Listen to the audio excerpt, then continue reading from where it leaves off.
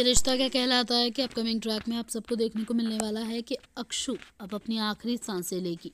और इन्हीं आखिरी सांसों में अक्षरा अपनी बेटी को लेकर बहुत परेशान होगी।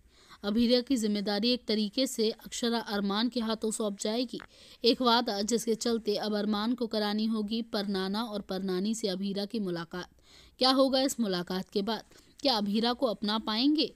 नाना और नानी, और क्या होगा इस पर रूही का रिएक्शन और वादा निभाने के लिए किस हद तक जाएगा अरमान? देखना होगा।